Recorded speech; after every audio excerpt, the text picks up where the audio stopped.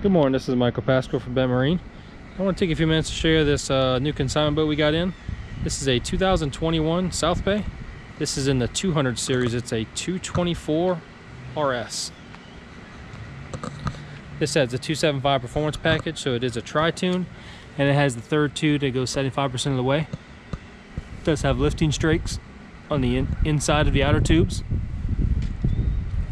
It's got the full uh, sheet metal underneath as well. You see that. South Bay has all composite decks. There's no plywood like a lot of manufacturers do. This one comes with a spare tire. Does come with a Magic Tilt all aluminum trailer.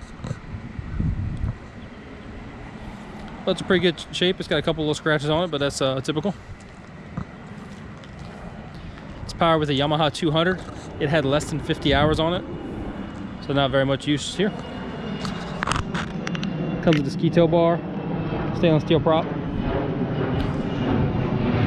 give you a look around the outside and we'll uh, jump in the inside and show you the interior.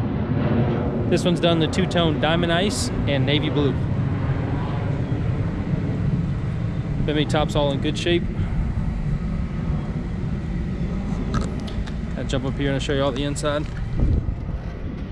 So the RS has a double captain chairs, so you have loungers up in the rear, and you have these nice comfortable couches up front.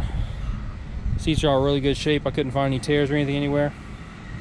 This is equipped with the upgraded uh, wet sound stereo system as well as interior lighting.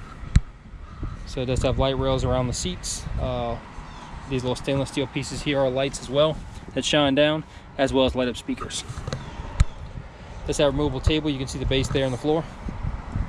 This one's equipped with the uh, stainless steel ski tow bar.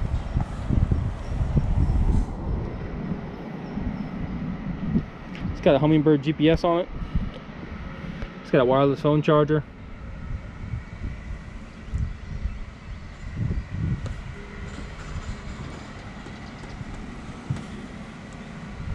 I get a look, look at the inside. I said all the seats are in good shape, but it's always been covered up, stayed out the weather.